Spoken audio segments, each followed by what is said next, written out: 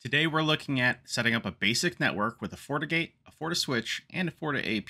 Hey everyone, if you're new here, I'm Gregabyte, and I talk all things network and security, and focusing lately on Fortinet solutions. So I'm a visual person, so I wanted to break this down for you, how I've got this set up today. We've got our FortiGate 90G set up, hooked up to the internet. It's hooked over on port A to the port 8 of our FortiSwitch 108F FPoE. Then on port 1, we have our FortiAP hooked up using PoE. And right now, the only thing that's configured is that basic configuration we've done in the first couple videos with the FortiGate 90G. So we'll hook up the FortiSwitch, which is currently not configured at all, and the FortiAP, which is also not configured at all. First off, let's double check which ports are our FortiLink, just to make sure. So we can see here at the top that we've got FortiLink with members A and B, and we've got A currently connected. Before we do anything else, let's go turn on the wireless and switch controller. If we go to System, Feature Visibility, and then turn on the switch controller and the wireless controller, and then hit Apply. You'll see now over here on the left that we have Wi-Fi and switch controller. If we drop that down, the first thing that we're going to want to look at is the FortiLink interface. So if we look at this right now, this is just set to the default. Uh, it's using the IP space of 10.255.1.1 slash 24, and it sees one FortiSwitch switch currently connected. By default, uh, in a secure state, we don't want to authorize new devices, so we've got that turned off currently. We do have the ability to do split interface, which is something you might want to do, and we've got DHCP set up. Now, FortiLink is going to be the type of protocol that we're going to use to communicate with our FortiSwitch. So this is purely management and configuration. So we'll move over into the managed FortiSwitches. And in here, you can see that we have one unauthorized switch. So if we click on this, we can actually go and choose to authorize it.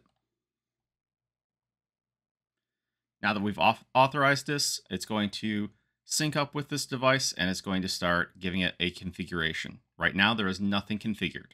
After a minute, we've refreshed the page and our FortiSwitch is online. We can even see that it's connecting from an IP within the subnet that was in FortiLink. So the next thing we're going to look at is actually the FortiSwitch VLANs. By default, we have a handful of different VLANs pre-configured, VLAN 1, and then a lot of the top VLAN IDs. We're not going to use any of those today. What we're going to do is going to create a VLAN for the FortiSwitch administration. If we go to create new, create a FortiAP VLAN, we're going to choose to call this VLAN 60. We're going to give it an IP address of 192.168.60.99/24. Inside of here, we'll turn on ping administrative access as well as the security fabric connection so that it can talk over CAPWAP. We'll turn on DHCP server, which should grab the IP space from the IP that we created earlier. We're going to have device detection turned on, and other than that, we're going to leave everything else the same. Okay, so we've got the FortiAP VLAN created. Let's go over to the port and change it over into that VLAN. We'll head over to FortiSwitch ports. We're going to go to port 1 because that's where our FortiAP is hooked into. And we're going to change the native VLAN from the default FortiLink over to the FortiAP VLAN that we created. We're going to apply that. So now our FortiAP has uh, DHCP that it can hook into. Now that we've done that, let's go over to Managed FortiAPs. And we should see that a FortiAP is waiting for authorization. So let's click on that. And just like in the FortiSwitch, we're going to authorize it. I'll right click it and select Authorize. Now this is also going to take some time to get updated with the configuration that is created inside of this FortiGate. So while it is figuring all of that out, we'll go create that. We'll head over to SSIDs create a new SSID. I'm just going to name this one example SSID, but that's not actually the SSID that will be broadcast. We'll change this IP space to 192.168.61.1 slash 24. We're going to turn on ping But for this, we're going to expect that there are no admins, so we don't want to turn on any web access or anything else. We'll turn on DHCP server, which again will have the IP space based on the address for this SSID. And then we can change the SSID that is broadcast down here. We'll type example. Scroll down a bit further and we'll set a password for it and it'll just be Fortinet. We're not going to set any VLAN IDs here. We're just going to keep it like that. We'll hit OK to apply it. And now we've got a tunnel SSID. That's the default mode, and that's what we're going to use. If we double check our FortiAP profiles, we'll automatically see the default FortiAP 231G profile that was created. And the thing that we were really looking for is to see we are using tunnel SSIDs in all of the radios. Tunnel, tunnel, and tunnel. So that's what we want because we created a tunnel SSID. If you want, you can go manual in yours but that's what we're going to do in this one. Let's check out our Managed FortiAP and see if it's connected now. So after a little while, we can see that our access point is up and running, and we're running on channels 1 and 165, and we don't have any clients running right now. So the next thing that we need to do is actually allow this traffic to talk across. So we'll go to our policy and objects, firewall policy, create a new one We'll name it wireless. Select the incoming interface as the example SSID and let it go pretty much anywhere. Not a secure design, but it's just for testing.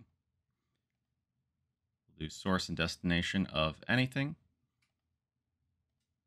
and a service of anything. We're going to accept it. We'll use NAT and we're not going to do any filtering on it right now.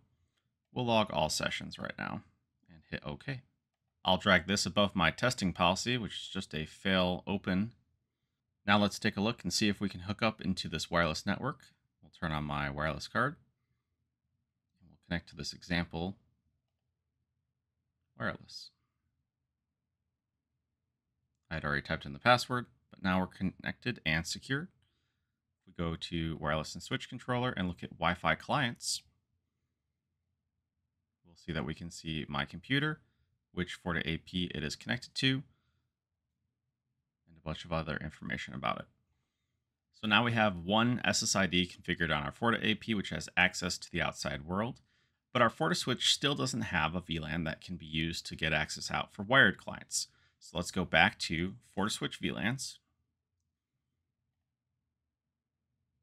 And we can choose to either utilize this default FortiLink, which is the default VLAN, but it is VLAN 1. We could choose to use this default FortiLink VLAN 1, which currently does not have an IP address assigned to it, and change that over to something else. Or what I like to do is create a new VLAN. So we'll go to create new. Name this wired. Give it a VLAN ID of 70. And just like before, we'll give it a 192.168.70.1 slash 24. We're going to turn on the ability to ping. We don't have any downstream uh, Fortinet devices that we would expect, so we're not going to turn on Security Fabric connection. And we're going to turn on the DHCP server, which should fill out this information. I would still like to detect different devices on here, but nothing else. We'll go and select OK. And now you can see we have a wired VLAN. We just now need to apply it over at our FortiSwitch ports. So we'll go to ports 2 through 7. I'm just going to hold Shift to select all of those. And we're going to change over the native VLAN from default FortiLink over to wired. And I'll apply that. And now I can see all of these ports have a wired port on here. Just like we did with the FortiAP, we'll need to go into policy and objects, firewall policy, and then create a new, we'll call this one wired.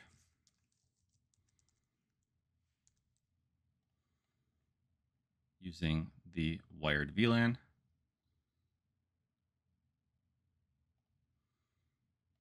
allow it to go to anything, source of anything, and destination of anything, with a service of anything. We'll NAT it, we'll log all traffic, hit OK, and I'm going to drag this again above my testing. So I'm going to switch over my wired port into this device and we'll see what we can do. So now that we've disconnected the wired connection, let's test out that wireless connection that we had before. We'll just go to fortinet.com and we can see that we got access. As we connect back over into, we'll go into port 7, since it was ports 2 through 7. That was enabled. I'll go and turn off my wireless.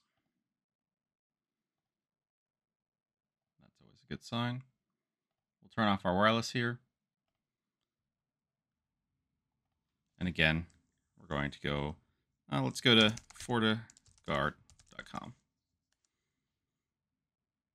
And we can see we can get out to websites. All right, I hope that was helpful for you uh, and setting up a really basic configuration with a switch and an access point with your FortiGate. If you've got a different network that you'd like to see me test out and set up, let me know in the comments below.